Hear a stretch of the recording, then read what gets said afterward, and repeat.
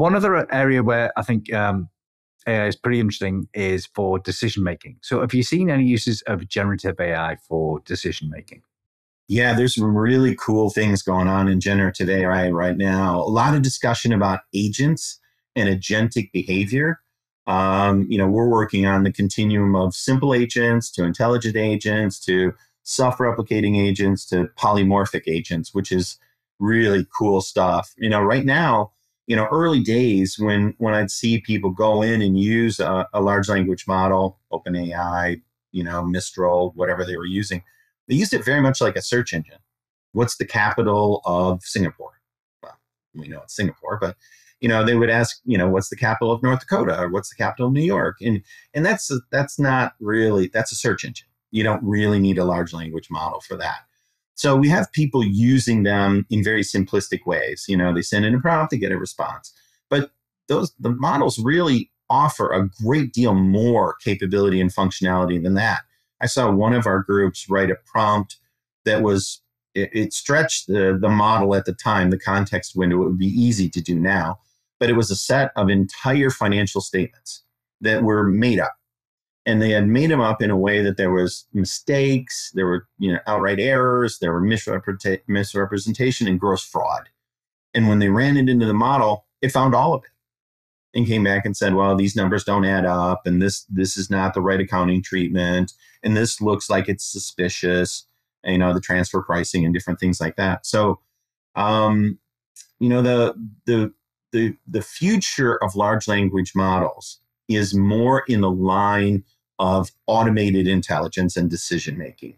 So, trying to bring it back and land the plane and answer your question is that, you know, we are going to a point where simple things like deciding should I fly on the 6 a.m. flight or should I fly on the 8:20 flight?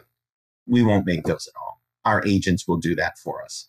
You know, we'll give them all the rules and the parameters and the the top line of what we want to spend and when we want to get out of bed and all the other rules. And we'll code those into agents and they'll go into large language models. And you'll go in and say, hey, I need to fly from Chicago to New York on Tuesday of next week and return on Friday. That's the last thing you'll say. The whole thing will be booked for you.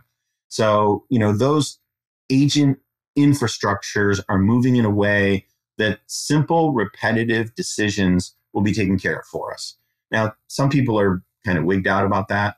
And they say, well, geez, you know, there's going to be a lot of jobs and there's going to be people that lose their jobs. Yes, that is true. People will lose their jobs. But the the upside is that the jobs that we will be creating with the augmentation of intelligence is that they will be more fulfilling jobs. They'll be more interesting jobs. They will be jobs that pay better. So just like we went through transitions from horses to automotives to you know manual labor to industrial labor. We're going to go through a transition that is going to be focused mostly on white collar work where the, the lower end repetitive stuff is going to go away and the higher end more sophisticated work that we as humans are better at creativity intuition you know all those things are going to be more enriched. Okay uh, so that's really interesting though two very different examples there. So your first example was around being able to critique a large document and just come up with intelligent answers to that. And the second one's more about um, automating away um, just uh, boring manual tasks like which flight should I pick and uh, going booking things. Okay, so um, that's, that's pretty interesting that those different examples. One thing I'm also interested in is um, around uh, other types of AI. So I know you're a big fan of causal AI, and actually we had um, a guest on a previous show who was saying generative AI isn't what you want for decision making; it's causal AI. Uh, so I don't know whether you have an opinion on this on one versus the other. Well, I do have my book on causal AI just over my shoulder, so you know I do have an opinion, of course. But uh, yeah, I think generative AI is good for simple decision making. Like I said, do I want to go on the 820 flight or the 6 a.m. flight? That's a simple decision that generative AI can make for you. Um, more more complicated decision making, you know, I, I, that's not really what generative AI is there for.